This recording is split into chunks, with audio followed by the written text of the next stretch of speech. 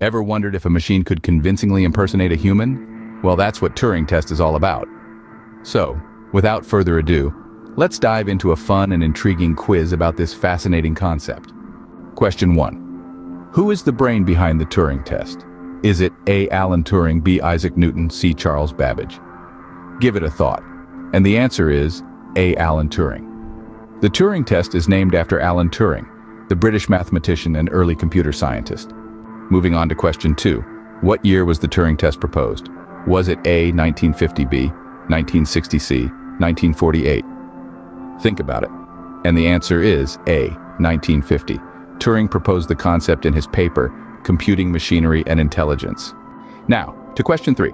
What is the main purpose of the Turing test? Is it A, to measure the intelligence of a machine B, to measure the processing speed of a machine C, to measure the storage capacity of a machine? Take a moment. And the right answer is A, to measure the intelligence of a machine. The Turing test is a measure of a machine's ability to exhibit intelligent behavior. On to question four. What is the basis of the Turing test? Is it A, the machine's ability to solve mathematical equations? B, the machine's ability to play chess C, the machine's ability to convince a human that it is another human give it a thought? And the correct answer is C, the machine's ability to convince a human that it is another human.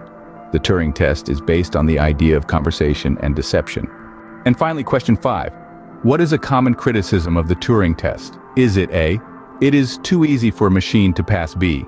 It does not accurately measure machine intelligence C.